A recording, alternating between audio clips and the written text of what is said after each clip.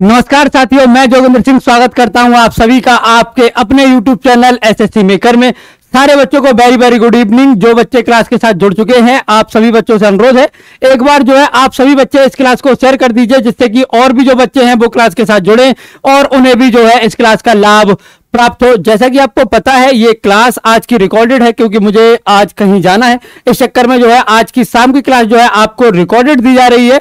तो आपको जो है, जो भी प्रश्न मैं यहाँ कराऊँगा आज की क्लास में, जो आप लोगों के लिए मैं लेकर आया हूँ, इन प्रश्नों को आपको नोट डाउन ज़रूर करना है, जिससे कि और भी जो आपका जब एग्ज़ाम हो तो उन एग्ज़ाम में भी जो है आपके ये क्वेश्चन जो है, ये काम आ सके, इनका रिवीजन आप प्रॉपर कर सके, इसके लिए जो है आपको इसे नोट डाउन ज़रूर करना है। और जैसा कि आप सभी को पता है, शाम को पाँच बजे जो आपकी क्लास जो है, ये होती है आपके एमटीएस के प्रीवियस ईयर की, जिसमें आप जो है उन महत्वपूर्ण क्वेश्चंस को देखते हैं जो पहले आ चुके हैं, यानी कि जो 10 महीने पहले आपका एग्ज़ाम हुआ है, उसमें जो क्वेश्चंस आपके आए हैं, उन्हीं क्वेश्चंस का एनालिसिस हम यहाँ पर करते हैं। साथ में देखते हैं इनसे और कौन कौन से महत्वपूर्ण क्वेश्चन जो है आपके बन सकते हैं, जो कि आपके एग्ज़ाम के पॉइंट ऑफ़ व्यू से बहुत ज़्यादा ज़रूरी है। तो करना आपको यह है कि आपको एक बार जो है इस क्लास को अंत तक देखना है पेन पेपर लेकर बैठिए और मैं कुछ क्वेश्चन भी बीच में आपसे पूछूँगा, जिन्हें आपको कमेंट बॉक्स में जो है, जिनके जवाब लिखकर आपको देने हैं। और इस क्लास को एक बार आप सभी जो है शेयर ज़रूर कर दीजिए, जिससे कि और भी जो बच्चे हैं, वो भी इस क्लास को देख सके, उन्हें भी जो है, इसका लाभ जो है, मिल सके। पहला क्वेश्चन है आपका, अभिनेता और राजनेता शत्रुघ्न सिन्हा की जीवनी का नाम क्या है? आपको बताना है, अभिनेता और राजनेता शत्रुघ्न सिन्हा की जो जीवनी है, इसका नाम क्या है? तो याद रखिएगा, इसका नाम हो जाएगा आपका एनीथिंग बट खामोश। क्या हो जाएगा? एनीथिंग बट खामोश जो है, ये इनकी जीवनी है तो ये आपको याद रखना है। देख लेते हैं, आपके ऑप्शन में और जो चीज़ें दी हैं, इनके क्या क्या जो है, कौन किस किस की ये जीवनी है किस किस की ये किताबें हैं। जैसे आपकी खुल्लम खुल्ला जो ये बुक है, याद रखिएगा, ये जो खुल्लम खुल्ला बुक है, ये है ऋषि कपूर की बुक किसकी? तो याद रखिएगा, ये है ऋषि कपूर की तो ये आपको याद रखना है। और अगर बात करें the substance and the shadow तो ये किसकी हो जाएगी? तो याद रखिएगा, ये हो जाएगी दिलीप कुमार की। किसकी हो जाएगी? तो याद रखिएगा, ये हो जाएगी दिलीप कुमार की। तो ये आप सभी बच्चों को याद रखना है। दिलीप कुमार का निधन जो है, हाल ही में हुआ है तो आपसे जो है, इनकी बुक भी जो है पूछी जा सकती है तो ये आपको याद रखना है। And then one day a memorial ये किसकी बुक है? तो याद रखिएगा, ये है नसीरुद्दीन की। किसकी? नसरुद्दीन शाह की जो है, ये बुक है तो ये भी आप सभी बच्चों को याद रखनी है, क्योंकि ये बुक भी आप लोगों के लिए बहुत ज़्यादा महत्वपूर्ण है। पहला प्रश्न आज के लिए आपको जो कमेंट में लिखकर बताना है, द ट्रुथ। ये जो है सॉरी माई ट्रूथ ये जो बुक है, ये किसकी है? कमेंट में लिखकर बताइए माई ट्रूथ जो है, ये किसकी बुक है? ये आज आप लोगों का पहला क्वेश्चन जिसका आंसर आपको कमेंट में लिखकर बताना है। अगला, निम्नलिखित में से कौन रोपड़ फ़सल की श्रेणी में आता है? आलू, ककड़ी, कॉफ़ी और बाजरा। रोपड़ फ़सलें जो होती हैं, याद रखिएगा, ये व्यापारिक फ़सलों के अंतर्गत आती हैं। किसके अंतर्गत आती है? तो याद रखिएगा, व्यापारिक फ़सलों के अंतर्गत जो है, ये आती है। व्यापारिक फ़सलें कौन सी कौन सी हैं? तो याद रखिएगा, इनमें जो व्यापारिक फ़सलें या कहें रोपड़ फ़सलों में कौन कौन सी फ़सलें और हैं? तो याद रखिएगा, यहाँ बाजरा को छोड़कर बाकी की तीन जो ककड़ी, आलू, कॉफ़ी है, ये तो आपकी रोपड़ फ़सलें हैं ही। इनके अलावा और कौन कौन सी हो जाएँगी? तो याद रखिएगा, इसके अलावा आपकी एक हो जाएगी गन्ना, चाय रबर, केला, ये आपको याद रखना ये क्या है? ये है आपकी रोपड़ फ़सलें। यहाँ एक चीज़ और आप सभी को ध्यान देने की है, और वो ये है कि अगर बात करें रबड़ की, किसकी? अगर बात करें रबड़ की तो याद रखिएगा, ये जो रबड़ है, ये होती है भूमध्य रेखा के ओर पास। कहा? भूमध्य रेखा के नज़दीक के जो हिस्से हैं, वहाँ पर जो है ये रबड़ जो है ये उत्पादित की जाती है। जैसे भारत में ये कहाँ होगी तो याद रखिएगा, भारत में रबड़ के बागान कहाँ पाए जाते हैं? तो याद रखिएगा, रबड़ के बागान भारत में पाए जाते हैं केरल में। कहाँ पर? केरल में पाए जाते हैं। ये आपको याद रखना है, कमेंट में इससे संबंधित एक नेशनल पार्क, कोई एक नेशनल पार्क जो है केरल से संबंधित आपको कमेंट में लिखना है। फटाफट से जो है इसका एक नेशनल पार्क कमेंट में लिखकर आपको बताना है। बताइए, अगला क्वेश्चन।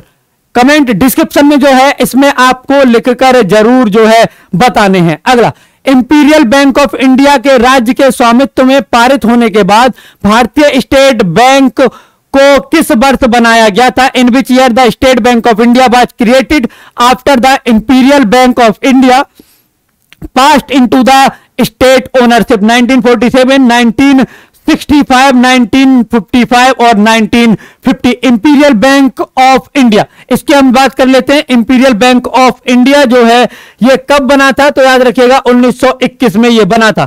किस किस से? Bank of Bengal Bank of Bombay और बैंक ऑफ़ मद्रास कौन सा? बैंक ऑफ़ मद्रास इन तीनों से मिलकर जो है इंपीरियल बैंक ऑफ़ इंडिया जो है आपका बना था। इन और इनकी, इनका गठन कब कब हुआ था? तो जो बैंक ऑफ़ बंगाल है, इसका गठित, इसका गठन हुआ था 1806 में। बैंक ऑफ़ बॉम्बे जो है, ये हुआ था 1840 में। बैंक ऑफ़ मद्रास ये हुआ था आपका 1843 में। तो ये आप सभी को क्या है याद रखना है, इन तीनों को मिला दिया गया था 1921 में और क्या बना दिया गया था? इंपीरियल बैंक ऑफ़ इंडिया 1955 में। कब? 1955 में जो है इसका राष्ट्रीयकरण किया गया और इसका नाम कर दिया गया एसबीआई एसबीआई का हेडक्वार्टर कहाँ पर है? इसका जो हेडक्वार्टर है, ये कहाँ पर है? ये आप सभी को कमेंट में लिखकर बताना है। ठीक? एक चीज़ और आप सभी बच्चों को याद रखनी है वो ये कि ये जो राष्ट्रीयकरण किया गया है, ये जो राष्ट्रीयकरण किया गया है इसकी सिफारिश किस समिति ने की थी? तो याद रखिएगा, ये थे गोरेवाला समिति। कौन सी समिति थी? ये थी गोरेवाला समिति। तो ये आप सभी को याद रखना। ये महत्वपूर्ण चीज़ें हैं, ये महत्वपूर्ण आपका क्वेश्चन है। इसमें जो बताए गए हैं फैक्ट है, ये महत्वपूर्ण है। गोरे वाला जो समिति है, ये आपकी महत्वपूर्ण है, क्योंकि ये आपके एग्ज़ाम में पूछी गई है और पूछे जाने के चांसेस अधिक हैं क्योंकि बहुत कम ऐसा होता है कि बच्चों को इसके बारे में पता होता है। ठीक चलिए अगला क्वेश्चन देखते हैं। क्वेश्चन है आपका चार। अच्छा यहाँ पे आपको जो है एक क्वेश्चन मैं पूछ लेता हूँ बताना है। आरबीआई का हेडक्वार्टर जो है उन्नीस सौ उनचास के बाद जब जो है आ, इसका राष्ट्रीयकरण कर दिया गया था उसके बाद इसका हेडक्वार्टर क्या था? मुंबई नहीं है याद रखिएगा। मुंबई कोई नहीं देगा। जो 1935 में जब ये बना था, तब इसका कोलकाता था, फिर सैंतीस में इसे स्थायी कार्यालय के तौर पर मुंबई ले जाया गया, फिर उन्नीस सौ उनचास में इसका राष्ट्रीयकरण किया गया और फिर इसका जो है हेडक्वार्टर बदला गया। कहाँ? यह आपको कमेंट में लिखकर बताना है। अगला, दूसरी शताब्दी ईस्वी में गौतमी पुत्र सातकर्णी फिलिंदा ब्लैंक साम्राज्य के सबसे महान शासक थे। चेरा राष्ट्रकूट, चोल और Satavahana. Gautami Putra Satakarni, was the greatest ruler of the fill in the empire in the second century AD Chera, Rashtrakuta, Chola और सातवाहना बताइए जरा क्या होगा इसका जवाब? ये आपको मतलब बताइए का अर्थ ये है कि आपको हर क्वेश्चन के बाद 10 सेकंड का समय जो है दिया जा रहा है, जिससे कि आप क्वेश्चन को पढ़कर उसका आंसर दे सके, जिससे और बाद में टैली कर सके कि जो आपने क्वेश्चन का जवाब दिया है, क्या वह सही है या नहीं है। तो इसका जो सही जवाब हो जाएगा, याद रखिएगा, सही जवाब हो जाएगा आपका डी। सातवाहन याद रखिएगा, कौन है इसका संस्थापक? इसका संस्थापक है सिमुख। कौन है? याद रखिएगा, इसका संस्थापक है सिमुख तो ये आप सभी बच्चों को याद रखना है। याद रखिएगा, जो सातवाहनी है, इन्होंने ही शीशे के सिक्के भी चलाए थे। किसके? शीशे के सिक्के जो है, ये भी इन्हीं के द्वारा चलाए गए थे तो ये आपको याद रखना है। सात वाहनों में हम बात कर रहे हैं गौतमी पुत्र सातकर्णी की, सबसे मान शासक थे, याद रखिएगा। इन्हें वर्ण व्यवस्था का जो है, रक्षक भी कहा जाता है तो ये आपको याद रखना है। याद रखिएगा, जो सात वाहन है, इनमें ये जो गौतमी पुत्र सातकर्णी है ये तेईसवें नंबर के शासक थे। कौन से? तेईसवें नंबर के जो है ये शासक थे तो ये आपको याद रखना है इनके नासिक अभिलेख। कब कहाँ से इनकी जानकारी मिलती है? इनकी माँ ने इनके लिए एक अभिस, जो अभिलेख खुदवाया था कहाँ पर? नासिक में तो याद रखिएगा नासिक अभिलेख से जो है इनका ज़िक्र मिलता है तो ये आपको याद रखना है। इसी में बताया गया कि इन्होंने जो है क्या किया है? इन्होंने सक शासक नेहपान किसे?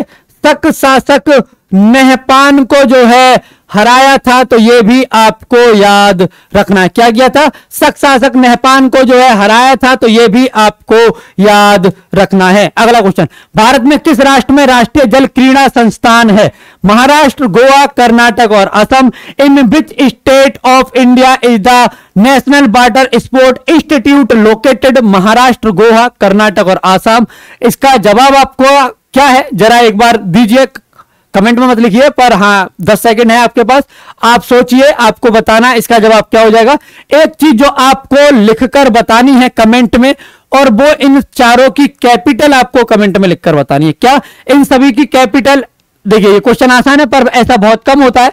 अक्सर ये देखा गया है कि सरल सरल क्वेश्चन जो है, आप गलत करके आते हैं। जब आप एग्ज़ाम देने जाते हैं, जब आप क्वेश्चन पढ़ते हैं, आपको लगता है सरल है, और फटाफट से जो आप उसका आंसर मानते हैं, और बाद में पता चलता है कि आपने जल्दी जल्दी में जो है क्वेश्चन के आंसर गलत कर दिए जो कठिन है, उस पर ध्यान देना है, पर जो सरल है, उस पर ज़्यादा ध्यान देना है, क्योंकि उसके गलत होने के चांसेस अधिक होते हैं, ज़्यादा होते हैं। ठीक है, चलिए। क्या हो जाएगा? इसका जो सही जवाब है, ये हो जाएगा आपका बी यानी कि गोवा। गोवा के पड़जी में जो है, ये स्थित है, ये आपको याद रखना है। यहीं पर आपको एक चीज़ और याद रखनी है, वो ये कि महाराष्ट्र में एक है, राष्ट्रीय जल अकादमी। क्या है? राष्ट्रीय जल अकादमी है, ये आपको याद रखना है, कब गठित की गई है? 1988 में। और कहाँ पर है? महाराष्ट्र में है। कहाँ पर है? महाराष्ट्र में है। गोवा में जो है, ये राष्ट्रीय जल क्रीड़ा जो है, ये कब स्थापित किया गया है? याद रखिएगा, ये किया गया है 1990 में। कब किया गया है? तो याद रखिएगा 1990 में जो है, इसे स्थापित किया गया है। तो ये दोनों चीज़ें आपको ज़रूर याद रखनी है। स्पेशली इसलिए क्योंकि कई बार ऐसा होता है कि नाम में कंफ्यूजन हो जाता है। क्या हो जाता है? नाम में जो है कंफ्यूजन हो जाता है। कंफ्यूजन क्या हो जाता है? लगता है कि दोनों सेम है, पर दोनों सेम नहीं है, वो क्रीड़ा यानी स्पोर्ट्स संस्थान है और ये एकेडमी है बाटर एकेडमी ठीक? तो ये आपको याद रखना है। और याद रखिएगा, हर क्वेश्चन पर आपके लिए कुछ क्वेश्चन है अलग, जिनके जवाब मैं नहीं दे रहा हूँ। आपको कमेंट में लिखकर बताने हैं। तो क्लास को एक तो अंत तक देखना है, जो आपको नॉलेज दी जा रही है, जो आपको पता है। अच्छी बात है, जो नहीं पता है, उसे नोट ज़रूर कीजिएगा। क्योंकि जब तक आप इन्हें नोट करके रिवाइज नहीं करेंगे, एग्ज़ाम में अच्छा प्रदर्शन आप नहीं कर पाएँगे। याद रखिएगा, किस संशोधन ने मंत्रिपरिषद के आकार को सदन के कुल आकार के 15 प्रतिशत तक सीमित कर दिया? Which amendment restricted the size of the council of minister to 15 percentage percent of the total size of house क्या हो जाएगा? ये आपको बताना seventy fourth ninety first eighty six और सिक्सटी फ़र्स्ट। क्या हो जाएगा इसका जवाब? ये आपको बताना है हर प्रश्न पर, जैसा कि मैंने कहा, आपको 10 सेकंड का समय दिया जा रहा है, जिससे कि आप सोचकर प्रश्न पढ़कर उसका जवाब दे पाए। क्या हो जाएगा? तो याद रखिएगा, ये हो जाएगा आपका बी इक्यानवेवा संविधान संशोधन जो है, इसी के तहत जो है, क्या किया गया है? इस जो मंत्रिपरिषद का आकार है, उसे पंद्रह प्रतिशत तक सीमित कर दिया गया है। इसके अलावा जो आपका चौहत्तरवा संविधान संशोधन है, ये 1992 का है और किससे संबंधित है? तो याद रखिएगा, नगर पंचायत यानी नगर पालिका से जो है, ये संबंधित है। जब हम यहाँ नगर पंचायत की बात कर रहे हैं तो हमें यहाँ ग्राम पंचायत की भी बात करनी है, क्योंकि आपके लिए यह ज़रूरी है। तो जो ग्राम पंचायत है, इसके लिए जो है आपका सेवेंटी थर्ड, क्या है? सेवेंटी थर्ड कॉन्स्टिट्यूशनल अमेंडमेंट हुआ है यह भी आपका हुआ है नाइनटीन नाइनटी टू में। कमेंट में लिखकर बताइए यह क्वेश्चन आपके लिए कमेंट में लिखकर बताना है, किस अनुसूची और किस भाग में ग्राम पंचायतों का या पंचायतों का ज़िक्र है? ठीक है, किस अनुसूची में इन दोनों का ज़िक्र है और किस भाग में जो है इन दोनों का ज़िक्र किया गया है या उल्लेख है, ये आपको कमेंट में लिखकर बताना है। छियासीवा संविधान संशोधन जो है, ये 2002 में हुआ था तो ये आपको याद रखना है। इसी के तहत आपका आर्टिकल 21 ए जोड़ा गया है। कौन सा?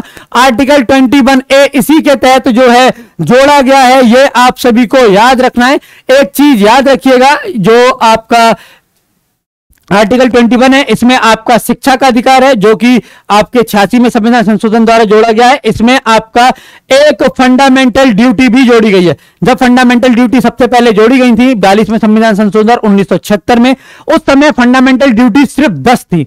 फिर एक ड्यूटी और जोड़ी गई, और आज जो है टोटल फंडामेंटल ड्यूटी कितनी है?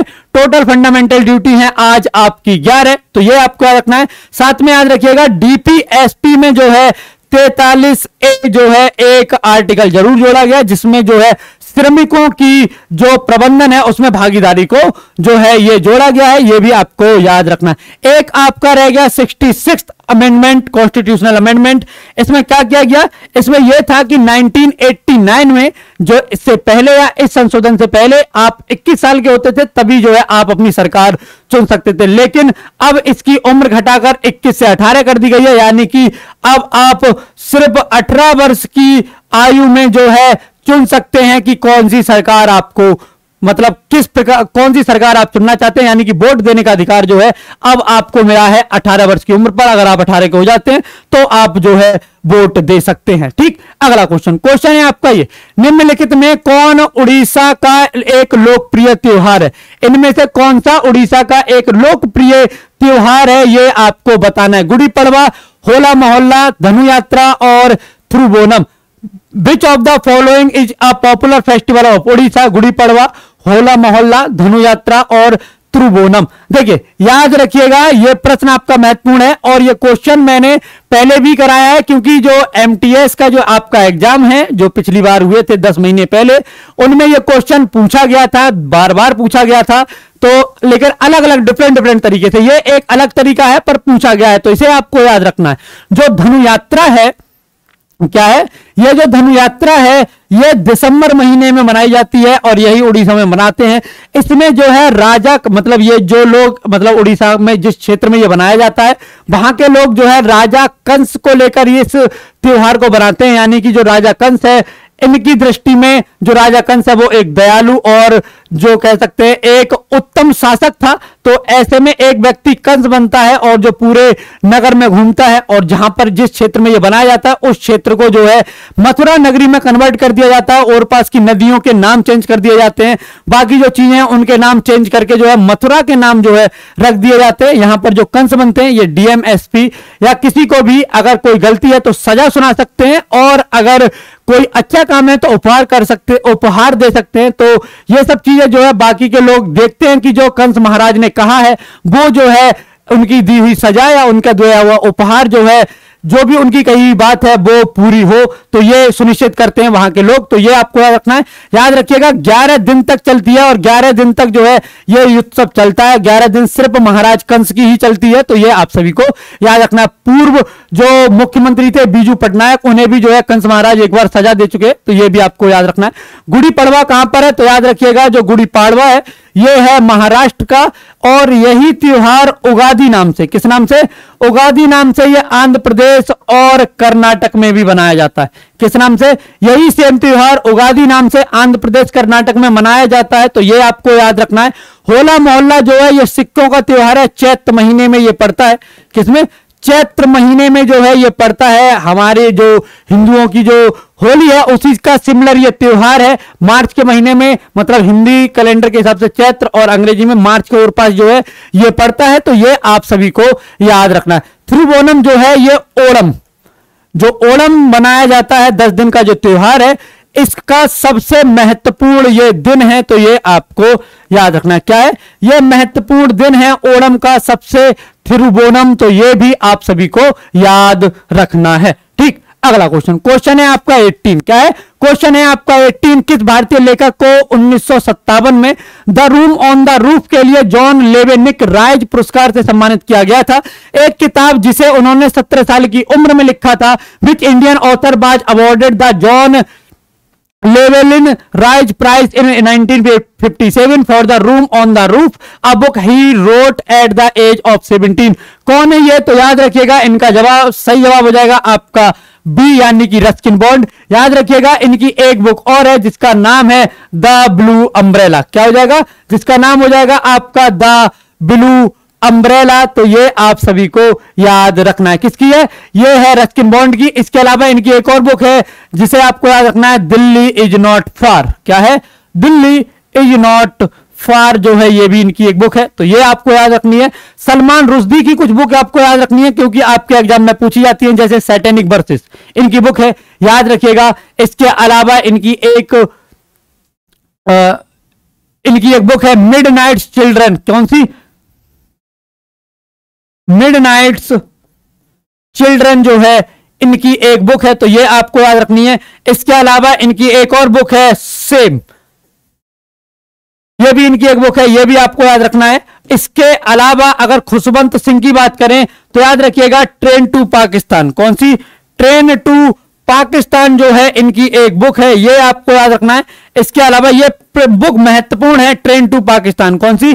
ट्रेन टू पाकिस्तान जो बुक है, ये आप लोगों के लिए महत्वपूर्ण है, क्योंकि आपके एग्ज़ाम में ये कई बार पूछी गई है, फिर से पूछी जा सकती है। कई बार ये लेखक ऑप्शंस में दे देते हैं, कई बार ऑप्शंस को उठा के क्वेश्चन बना देते हैं तो ये आपको याद रखना है। बिल्कुल कोताही नहीं करनी है, चुपचाप लिख लो। अगर लग रहा है कि यार हाथ थक रहे हैं, कौन लिखेगा? बाद में लिख लेंगे स्क्रीनशॉट ले लेंगे, कुछ नहीं। चुपचाप लिख लो, क्योंकि और इसे आपको रिवाइज करना है। एक इनकी बुक है कर्म। कौन सी? एक बुक है इनकी कर्मा तो ये आपको याद रखना है। यहाँ पर आपको जो प्रश्न कमेंट में लिखकर बताना है, क्योंकि मैं कमेंट आप सबके पढ़ूँगा, सारे कमेंट पढ़ूँगा, जो तुम इनके आंसर दोगे। इसमें जो आपको लिखकर बताना है कर्मा कर्मा इनकी बुक है, इनके अलावा एक और है जिनकी बुक है, महिला लेखिका है, ये बांग्लादेशी है। क्या नाम है इनका, ये आपको बताना इन्हीं की एक बुक है एक्साइल। इन्हीं की एक बुक है एक्साइल। कौन सी? एक्साइल भी जो है, इन्हीं की बुक है। कमेंट में लिखकर बताओ किसकी है फटाफट से। आप सभी को ये आपको कमेंट में लिखकर बताने ही है। ठीक है? अगर बात करें अमिताभ घोष की, किसकी? अगर बात करें अमिताभ घोष की तो याद रखिएगा, इनकी एक बुक है, द हंगरी टाइड। क्या है? द हंग्री टाइड जो है, इनकी एक बुक है तो ये आपको याद रखना है। और एक है द सैडो लाइन कौन सी हो जाएगी? एक बुक है इनकी द सैडो लाइन तो ये भी आपको लिखना है। हंग्री टाइड आप ज़रूर लिख लीजिए, क्योंकि ये क्वेश्चन में पूछा गया है। द सैडो लाइन ये आपको याद रखना है, ठीक? अगला क्वेश्चन बॉम्बे राज्य को भाषाई आधार पर विभाजित किया गया, जिससे वर्ष 1960 में महाराष्ट्र और फ़िल्म ब्लैंक्स का गठन हुआ। Gujarat, Karnataka, Rajasthan, Goa. The state of Bombay by divided on linguistic lines which led formation of Maharashtra and fill in the blanks in the year 1960 Gujarat Karnataka Rajasthan और गोवा क्या हो जाएगा इसका जवाब? ये आप सभी को कमेंट में लिखकर बताना है। तो याद रखिएगा, इसका जो सही जवाब है, ये क्या हो जाएगा? इसका सही जवाब हो जाएगा आपका गुजरात। बॉम्बे पहले एक बड़ा क्षेत्र था, फिर बाद में जब भाषा के आधार पर जो है विभाजन हुआ, तब गुजराती चले गए गुजरात में और महाराष्ट्री जो है, मराठी जो है, ये महाराष्ट्र में आ गए। तो ये आपको याद रखना है। कमेंट में लिखकर बताइए, भाषा के आधार पर बनने वाला पहला राज्य कौन सा था? और इसके लिए जो आमरण अनशन पर बैठे थे और जिनकी बाद में मृत्यु भी हो गई, जिसके कारण जो है ये राज्य बन पाया था। उनका नाम क्या है, ये आपको कमेंट में लिखकर बताना है। क्वेश्चन समझ ही गए होंगे। मतलब पहला भाषा के आधार पर राज्य कौन सा बना और किसने इस राज्य को बनाने के लिए आमरण अनशन किया और बाद में उनकी आमरण अनशन से मृत्यु भी हो गई। उनका नाम क्या है, कमेंट में लिखकर आपको बताना है। गोवा के बारे में याद रखिएगा। गोवा को पुर्तगालियों से हमने छुड़ाया है। उन्नीस में आ, सेना बेचकर ही छुड़ाया गया। तो यह आपको याद रखना है। क्या नाम था उसका? ऑपरेशन का तो याद रखिएगा ये था ऑपरेशन विजय। क्या नाम था? ऑपरेशन विजय जो है ये इसका नाम था। तो ये आप सभी को याद रखना है। याद रखिएगा इसे राज्य का दर्जा कब दिया गया है? 1987 में। कब दिया गया है? 1987 में जो है इसे राज्य का दर्जा दिया गया है। तो ये भी आपको याद रखना है। अगला मणिपुर के संगोल कोंगजोई को इस खेल के प्रति उत्साही लोगों द्वारा फ्रिंदाब्लैंक्स के रूप में दुनिया भर में अनुकूलित किया गया है। मतलब ये मतलब इसका, ये जो खेल आपके दिए इनमें से किसका मणिपुरी रूप है? संगोल कांग। जेई ये आपको बताना है। कुश्ती का कौन सा रूप है? मतलब किसे मणिपुरी कुश्ती कहते हैं? मतलब जो कुश्ती ना, कुश्ती का मणिपुरी रूप है, उसे क्या कहते हैं? तो याद रखिएगा, उसे कहते हैं मणिपुर में मुकना। क्या कहते हैं? उसे कहते हैं मुकना। इसका सही जवाब हो जाएगा आपका पोलो। रग्बी भी जो है खेली जाती है, पर किस नाम से खेली जाती है? कहाँ पर? मणिपुर में तो याद रखिएगा, उसका नाम हो जाएगा आपका यूबी लकपी। क्या हो जाएगा? यूबी लकपी जो है, इसका नाम हो जाएगा, ये क्या है? ये है मणिपुरी रग्बी, ये आपको याद रखना है। यहाँ यू बी और लकपी, दोनों के क्या क्या अर्थ हैं? तो याद रखिएगा यू बी का अर्थ होता है नारियल। क्या होता है? इसका अर्थ होता है नारियल, लकवी का अर्थ होता है छीनना।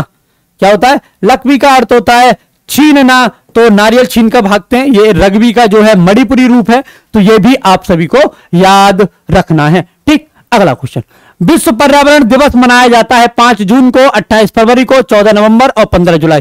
World environment day is celebrated fifth June 28 जून 14 नवंबर और 15 जुलाई। 14 नवंबर को कौन सा दिवस बनाते हैं? सरल है। कमेंट में लिखकर बताओ कौन सा दिवस है जो कि 14 नवंबर को बनाया जाता है। जितने भी क्वेश्चन मैंने पूछे गए, हर प्रश्न से एक, दो एक्स्ट्रा क्वेश्चन मैंने आपसे पूछे हैं और उन सभी के जवाब मुझे कमेंट बॉक्स में चाहिए। मैं उन सबको पढ़ूँगा। आप सभी को जवाब उनके देने ही हैं। याद रखिएगा, विश्व पर्यावरण दिवस जो है, ये पाँच जून को मनाया जाता है। तो ये आपको याद रखना है। याद रखिएगा, जो पाँच जून है, इसी दिन उन्नीस सौ बहत्तर में।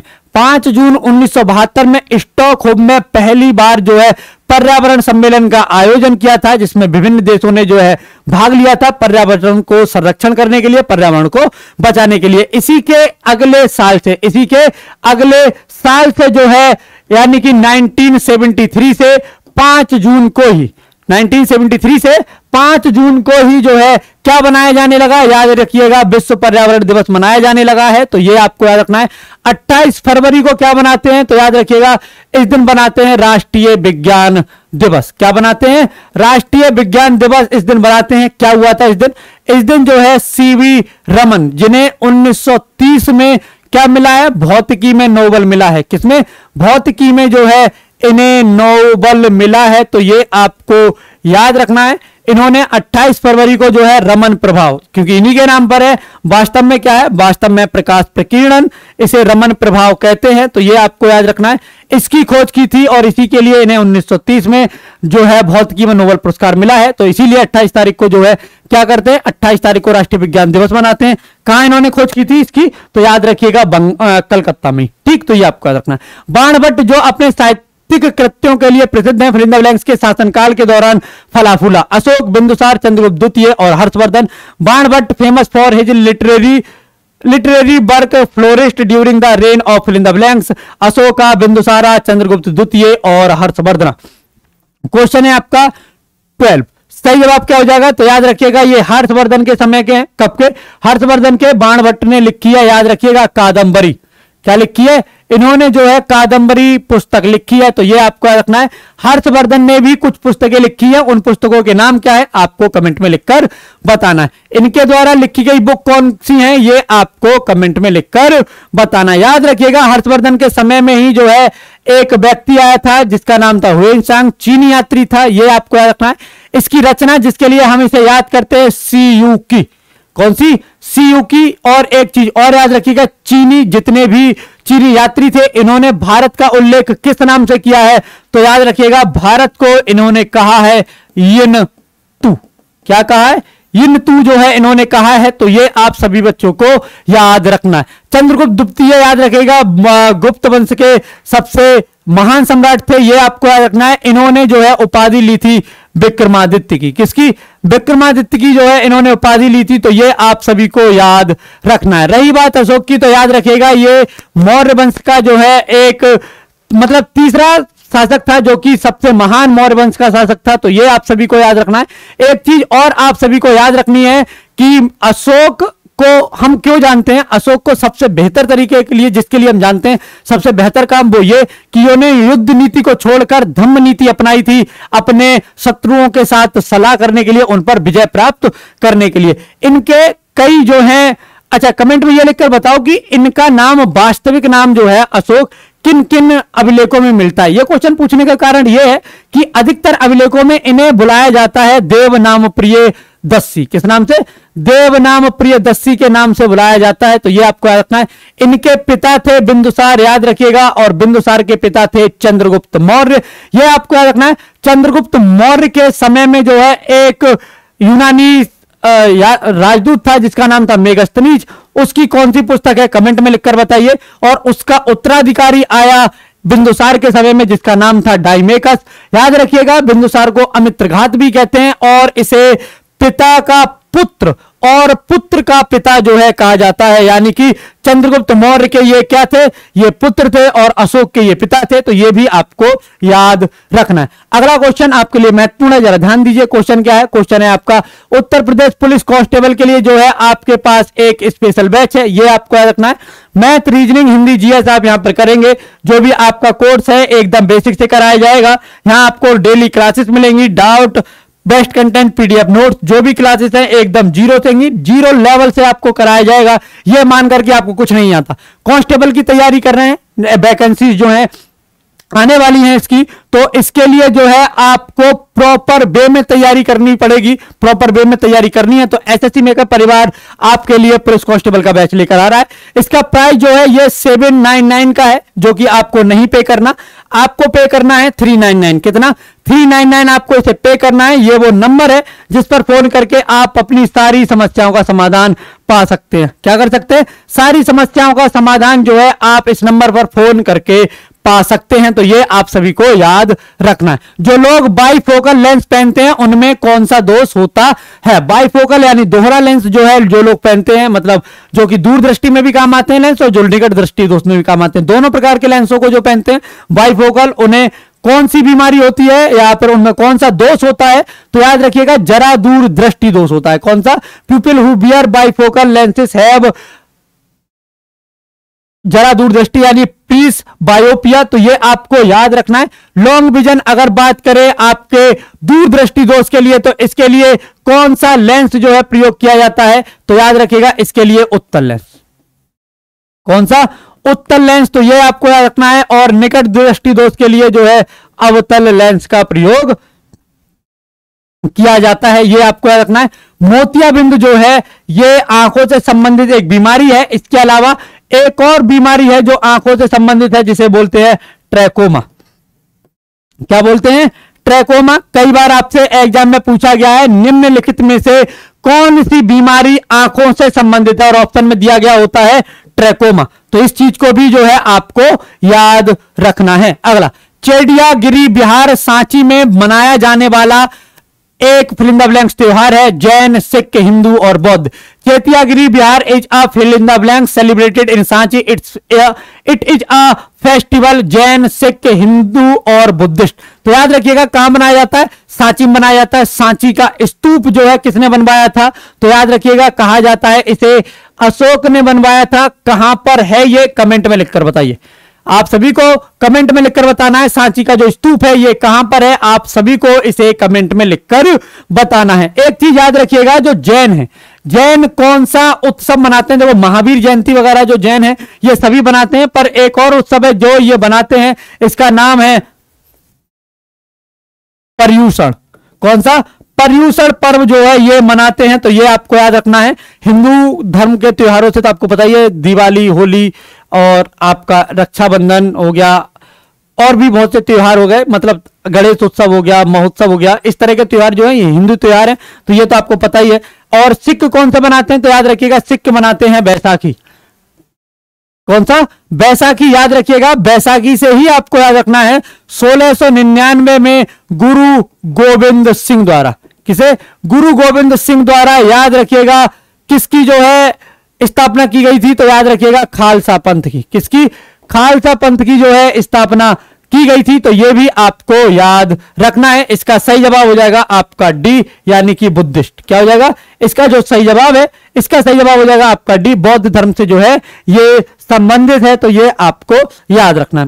अगला क्वेश्चन उस ऑपरेशन का नाम क्या था, जिसके कारण हैदराबाद राज्य का भारत में विलय किया गया? उस ऑपरेशन का नाम क्या था? देखो, तीन राज्य थे जब विलय किया जा रहा था, भारत का एकीकरण किया जा रहा था तो तीन राज्य, जूनागढ़, हैदराबाद और जम्मू कश्मीर, ये तीन हैं जो भारत में शामिल नहीं होना चाहते थे। लेकिन जूनागढ़ को शामिल किया गया किसके मतलब ये जो हैदराबाद और जूनागढ़ है, ये पाकिस्तान में जाना चाहते थे, और जो आप क्या कह सकते हैं, जो जम्मू कश्मीर था, वो स्वतंत्र रहना चाहता था। लेकिन जूनागढ़ जनमत संग्रह के आधार पर भारत में मिलाया गया मतलब लोग चाहते थे कि भारत में मिले।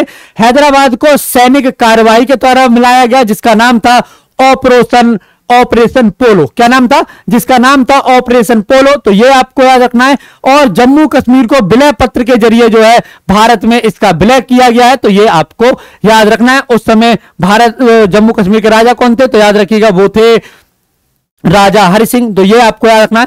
यहाँ आपको एक चीज़ और याद रखनी है, ऑपरेशन सनराइज के बारे में। याद रखिएगा, ये इंडिया और म्यांमार का। इंडिया और म्यांमार द्वारा चलाया जाने वाला क्या है? इंडिया और म्यांमार द्वारा चलाया जाने वाला एक ऑपरेशन है किन के खिलाफ? उग्रवादियों के खिलाफ। किसके खिलाफ? उग्रवादियों के खिलाफ जो है चलाया जाने वाला एक ऑपरेशन है। कब कब यह चलाया जा चुका है? एक बार चलाया गया है 2015 में, और एक बार चलाया गया है आपका 2019 में। तो ये दो बातें भी आपको याद रखनी है। ठीक? अगला क्वेश्चन किसकी आत्मकथा का शीर्षक सनी डेज़ है? किसकी आत्मकथा का शीर्षक जो है, ये है सनी डेज़। ये आपको बताना है। सौरभ गांगुली, सचिन तेंदुलकर, अमिल, अनिल कुंबले और Sunil Gavaskar. Whose autobiography is title sunny days? Saurav Ganguly, Sachin Tendulkar, Sunil Gavaskar और अनिल कुंबले। क्या हो जाएगा इसका जवाब? आपको बताना। देखिए यहाँ पर मैं कुछ किताब और लिख रहा हूँ। मतलब बेसिकली सिर्फ़ एक ही किताब लिख रहा हूँ जिसका जवाब आपको देना है। और वो कौन सी है? दो लिख लो। एक है स्ट्रेट ड्राइव ये बुक किसकी है? ये आपको कमेंट में लिख, लिख के बतानी है। स्ट्रेट ड्राइव जो है ये किसकी बुक है? कमेंट में लिखकर बताइए। एक है स्ट्रेट फ्रॉम हर्थ क्या है? स्ट्रेट फ्रॉम हर्ट ये बुक किसकी है? ये भी आपको कमेंट में लिखकर बताना। ये दोनों बुक किस किसकी हैं? आपको कमेंट में लिखकर बतानी है। ठीक है? इसका सही जवाब क्या हो जाएगा? ये हो जाएगा आपका सी सुनील गावस्कर की जो है ये एक बुक है। ये आपको याद रखना है। सौरभ गांगुली की एक बुक है a century is not enough क्या है?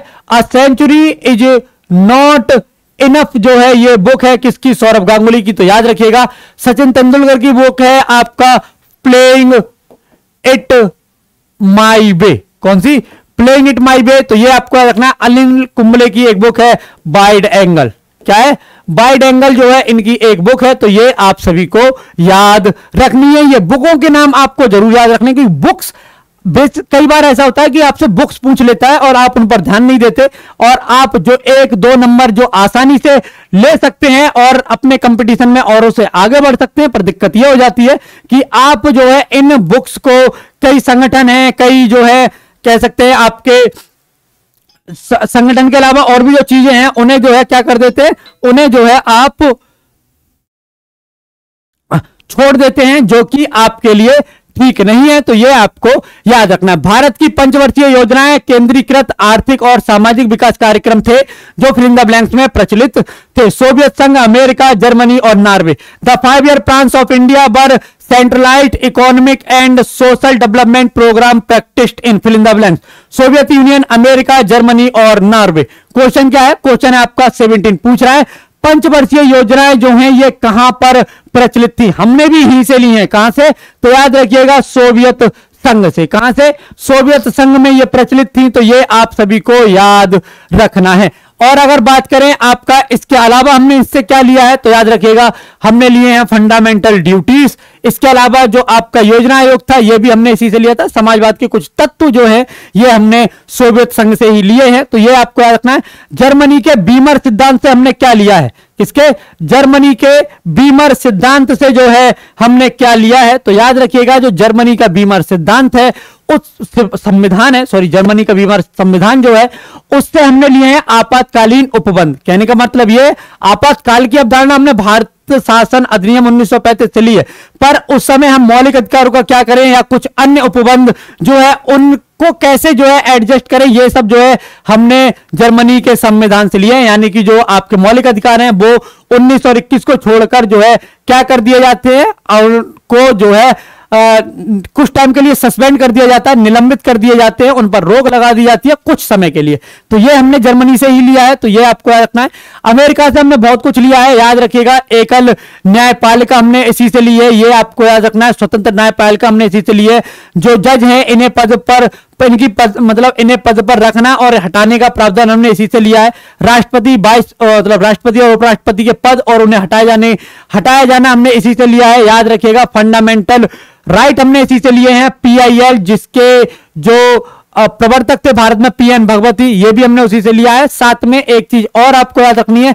एक चीज़ और है यहाँ पर वो है फंडामेंट प्रियम्बल जिसे जो है जवाहरलाल नेहरू द्वारा संविधान सभा में जो है प्रस्ताव जिसका प्रस्ताव किया गया था, जिसे जो है बाद में उद्देश्य का कहा गया है तो ये भी आपको याद रखना है। कहाँ? अमेरिका से। तो ये आपको याद रखना है। ये सब हमने कहाँ से लिए हैं? अमेरिका से लिए हैं। ठीक? अगला क्वेश्चन निम्नलिखित में से किसको भारत का प्रतिष्ठ पारिस्थितिक तप्त स्थल नहीं कहा जाता। Which of the following is not called the eco hot spot of India पश्चिमी घाट पूर्वी घाट पश्चिमी हिमालय पूर्वी हिमालय। किसे जो है भारत का पारिस्थितिक तप्त स्थल नहीं कहा जाता है? बताइए जरा। पश्चिमी पूर्वी पश्चिमी घाट पूर्वी हिम, पश्चिमी हिमालय और पूर्वी हिमालय। तो याद रखिएगा इकोलॉजिकल हॉटस्पॉट कौन सा जो है नहीं है। ठीक। देखिए ध्यान दीजिए। चार हैं कौन कौन से हैं? तो पहला तो याद रखिएगा, ये पश्चिमी घाट। कौन सा? एक हो जाएगा आपका पश्चिमी घाट, अगर बाकी की बात करें।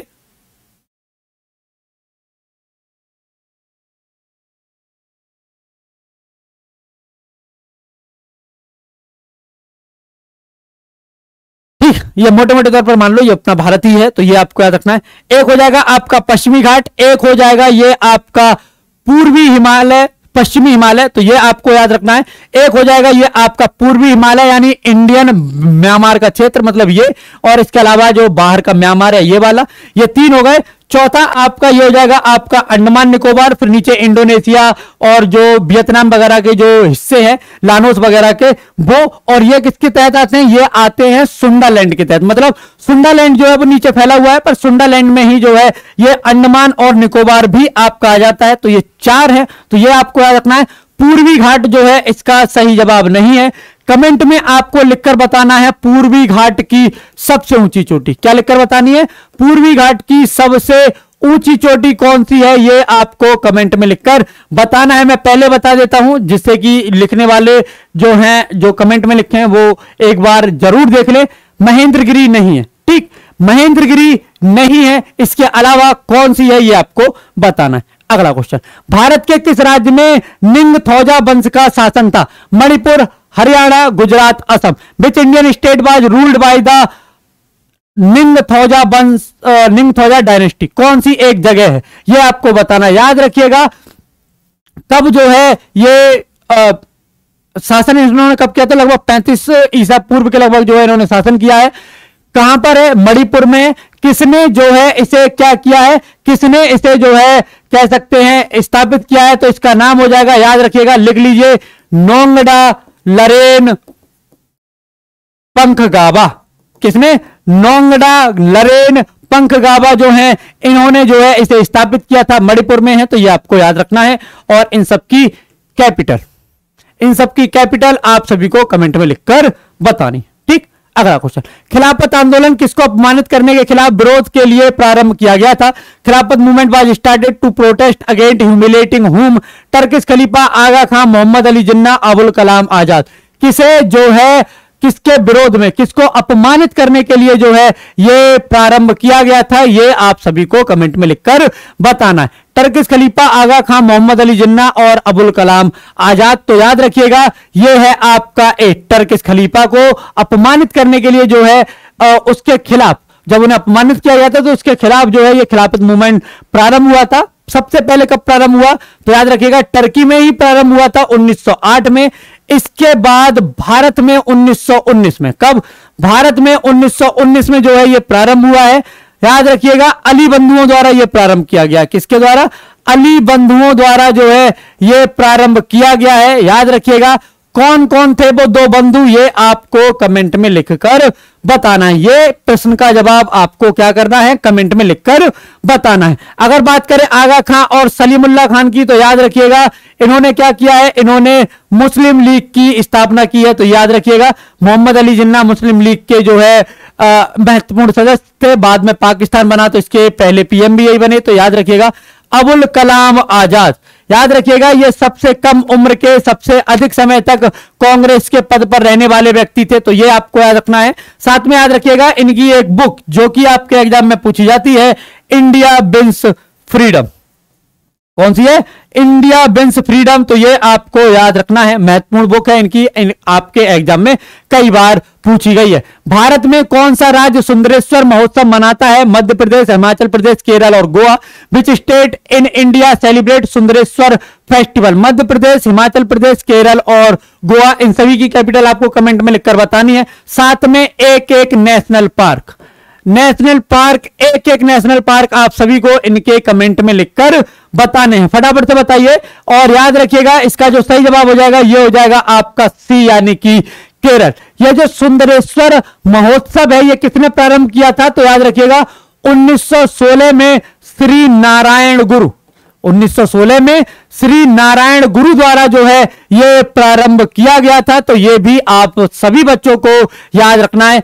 लिख लीजिए इसे। कई बार पूछा गया है कि जो सुंदरेश्वर महोत्सव है, इसे प्रारंभ किसने किया है और कब किया है? ठीक? अगला। भारतीय संविधान में जम्मू कश्मीर के लिए विशेष दर्जा और आंतरिक स्वायत्तता सुनिश्चित करते हुए भारत के संविधान के अनुच्छेद 370 को किस वर्ष अपनाया गया था?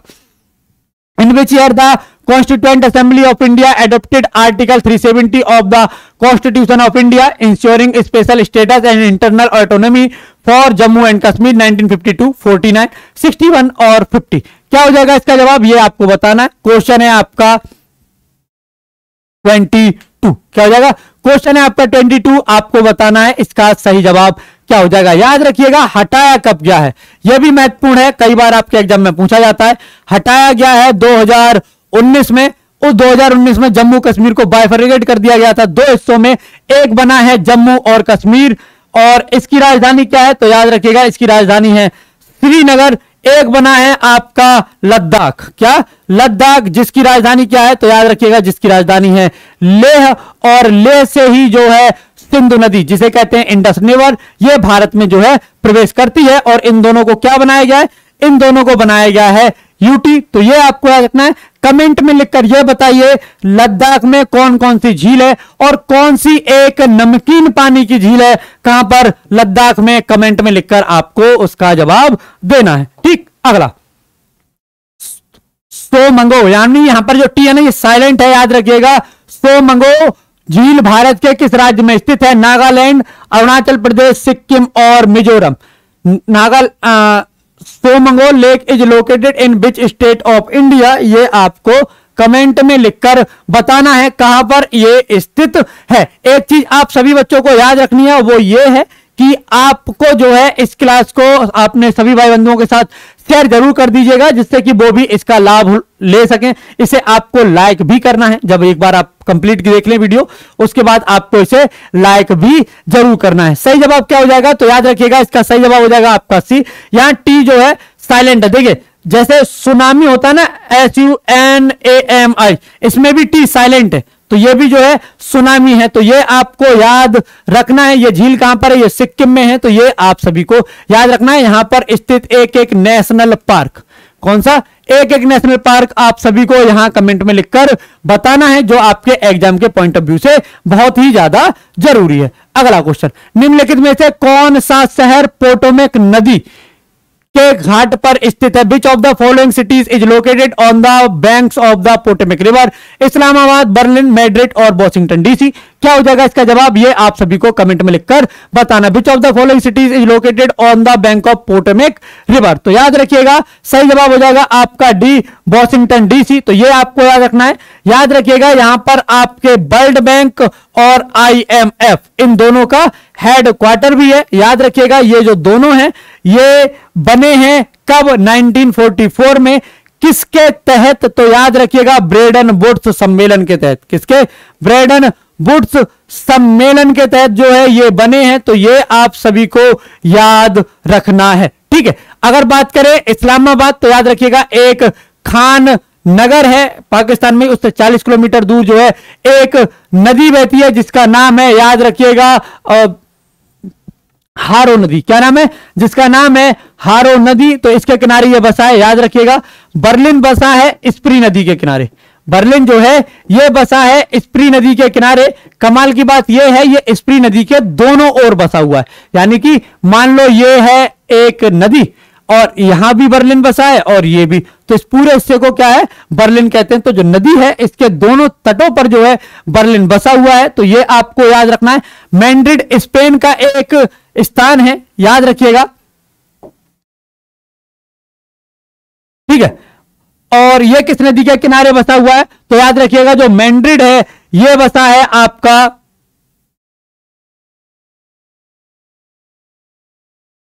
मैजस, मेजस, रुको, एक मिनट। मेजेन सेस। किस नदी के किनारे? मेजेन सेस नदी के किनारे जो है, मेजेन सेस। इस नदी के किनारे जो है ये बसा है तो ये आपको याद रखना है। ठीक, अगला क्वेश्चन क्वेश्चन क्या है? क्वेश्चन है आपका ये, भारत के निम्नलिखित पदासीन उपराष्ट्रपतियों में से किसने राष्ट्रपति के पद के लिए चुनाव लड़ा और हार गए? Who the following in command vice president of India contested for the post of president and lost S Radhakrishnan Bhairon Singh Shekhawat बीबीगिरी और बी और सी दोनों। यानी कि ये पदासीन थे, ये उपराष्ट्रपति थे, पर उसी समय इन्होंने राष्ट्रपति के लिए चुनाव लड़ा था और हार गए थे। कौन है? तो याद रखिएगा, ये हो जाएँगे भैरव सिंह शेखावत। कब से कब तक ये वाइस प्रेसिडेंट रहे हैं तो ये रहे हैं 2002 से 2007 तक। कब? 2002 से 2007 तक ये रहे हैं तो ये आपको रखना है। एस राधा कृष्णन जो है, ये पहले वाइस प्रेसिडेंट थे और सेकंड प्रेसिडेंट थे तो ये आपको याद रखना है। इनकी एक बुक जो आपको याद रखनी है, आपके एग्ज़ाम के लिए ज़रूरी है, पूछी जाती है। इसका नाम है एसेंशियल ऑफ़ फिलोसफी। क्या हो जाएगा? Essential of, sorry, essential of psychology, sorry. क्या है? एसेंशियल ऑफ़ साइकोलॉजी इनकी एक बुक है। ये आपको ज़रूर जो है पढ़नी है तो ये आपको याद रखना है। याद रखिएगा, इनका जन्म जो है, ये है पाँच सितंबर को, और इसी दिन जो है हम क्या बनाते हैं? इसी दिन हम टीचर्स डे भी बनाते हैं तो ये आपको याद रखना है। इन्हें दार्शनिक राजा भी कहा जाता था तो ये भी आपको याद रखना है। ठीक, अगर बीबीगिरी की बात करें तो ये थे चौथे प्रेसिडेंट। कौन थे? चौथे प्रेसिडेंट थे ये आपके मतलब अपने तो ये आपको याद रखना है, चौथे प्रेसिडेंट। ठीक है तो ये आपको याद रखना है। कमेंट में आपको क्या बताना है? कमेंट में बताना है, आपको लिखकर थर्ड प्रेसिडेंट कौन थे? जो थर्ड प्रेसिडेंट थे ये कौन थे? इनका नाम क्या था? ये आपको कमेंट में लिखकर बताना फटाफट से कमेंट में इसके बारे में आपको नीचे लिखकर बताना है। जैसे कि मैंने कहा, मैं आप सबके कमेंट पढ़ने वाला हूँ। जो जो, और जो आंसर सही देगा, मैं देखने वाला हूँ किस किसने जो है इसके जवाब सही दिए हैं। हर प्रश्न पर मैंने कुछ ना कुछ क्वेश्चन आपके लिए पूछे ही हैं, जो कि आपके एग्ज़ाम के पॉइंट ऑफ़ व्यू से ज़रूरी है। याद रखिएगा, आपकी जो एक क्लास है, ये होगी सुबह छह बजे होती है। ये है आपके करंट अफेयर की। अश्विनी सर, इस क्लास को कराते हैं तो इस क्लास के साथ जुड़िए।